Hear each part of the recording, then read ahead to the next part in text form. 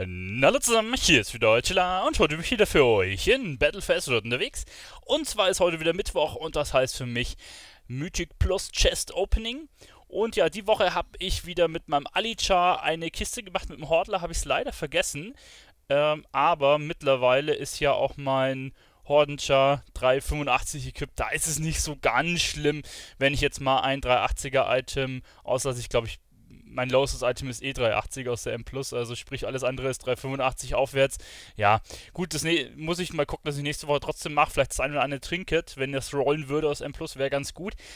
Viel wichtiger ist es eigentlich hier mit meinem Alichar, der ist nämlich nicht ganz so gut equipped, der hat jetzt 379, nee, 369,93 und ich hoffe, dass ich irgendwas kriege, dass ich jetzt mal über die 370er Schwelle mit dem drüber komme.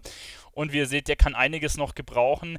Der hat äh, meistens hier 370er Items aus irgendwelchen Mythic Plus Indies an weil mit dem bin ich ja quasi nicht am Raiden. Gut, genug der Worte, der Einleitung. Ich würde sagen, wir schauen jetzt einfach mal rein, was drin ist. Handgelenke wären natürlich relativ schick, ja. Was kriege ich? Hände habe ich gekriegt. Crit Mastery. Na ja, na ja. Jetzt nicht, haut mir jetzt nicht übelst vom Hocker, aber sie sind natürlich besser als die, die ich anhabe. Auch aus M plus 10, aber das war wahrscheinlich dann ein direkter Drop. Ich glaube, ich habe die Woche sogar ein Elver mit dem gemacht. Dann nochmal äh, Grüße an die Gruppe, mit, die, mit der ich gelaufen bin. Die hatten da einen Key gehabt und mich in, hier Kollegen auf der Friendlist angeschrieben.